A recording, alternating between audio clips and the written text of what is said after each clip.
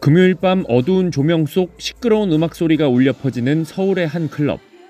마약 단속에 나선 경찰이 손전등을 비춰가며 이곳저곳을 수색합니다. 테이블과 의자 구석구석은 물론 화장실 쓰레기통도 뒤지고 천장까지 뜯어서 살펴봅니다. 경찰과 지자체는 합동으로 어젯밤부터 오늘 새벽까지 6시간 동안 서울 이태원과 강남의 클럽 등에 대한 단속에 나섰습니다.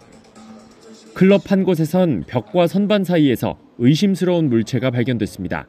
카트리지라고 하는 팥이 좀 이렇게 숨겨져 있는 게 은닉되어 있는 게 확인이 돼서 국가수에 감정을 의뢰한 다음에 거기서 약물이 검출이 되면 수사를 진행할 예정입니다.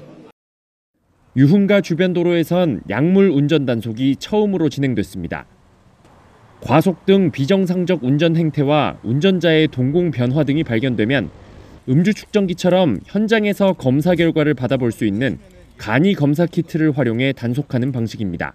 최초로 어, 약물 운전 단속을 하게 됐습니다. 어, 최근에 들어서 어, 강남경찰서 관내에서 약물 운전으로 인한 사고가 있어서 지속적으로 단속할 예정입니다. 이번 점검에서 현행범으로 잡힌 사람은 없었습니다.